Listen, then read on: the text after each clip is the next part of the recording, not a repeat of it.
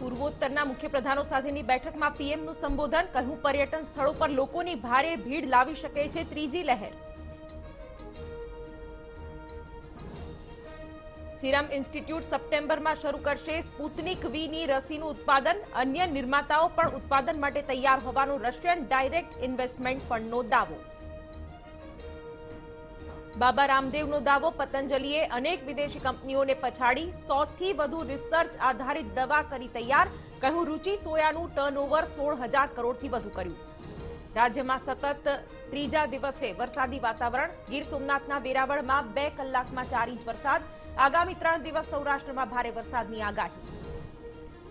જામનગરના બેડ રોજી સલાયા સહિતના બંદરો પર લગાવાયું ત્રણ નંબરનું સિગ્નલ. દક્ષિણ ગુજરાત પર રચાયેલા લો પ્રેશરના કારણે માછીમારોને દરિયો ન ખેડવા સૂચન.